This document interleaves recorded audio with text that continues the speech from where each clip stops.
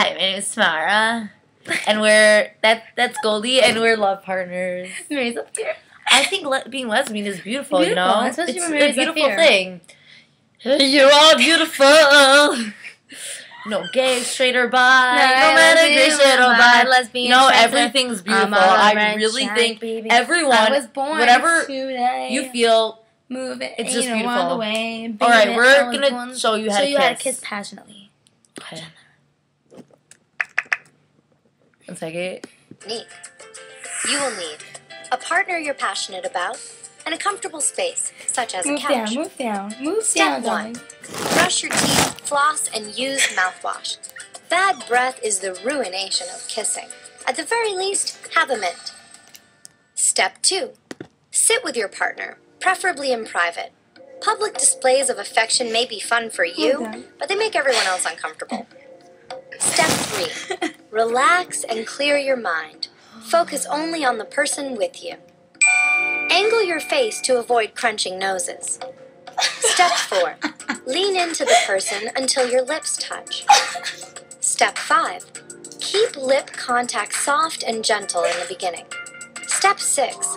Experiment with different movements and techniques. For instance, gently suck on your partner's lower lip or caress his lips lightly with your tongue.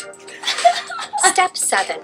Open your mouth enough to slowly slide your tongue into your partner's mouth. If you get an enthusiastic response, start exploring the inside of each other's mouth. Just remember to keep it slow and soft, not darting or invasive. Don't forget to breathe through your nose. Nothing ruins a good makeout like falling unconscious. Step 8. As the makeout session intensifies, come up for air by kissing your partner's face, ears, and neck, even giving them the occasional soft nip or gently tugging on their hair in the heat of the moment. Truly passionate kissing has a sense of urgency, as if you've been waiting for this moment for so long that you can't hold back. Don't start the Step 9. Use your hands. Kissing is made complete by strokes and caresses. Try holding the person's face as you kiss. Stop, I'm see that. Perfect. Did you know the longest kiss in film history, lasting 3 minutes and 5 seconds, was between Jane Wyman and Regis Toomey in You're in the Army Now?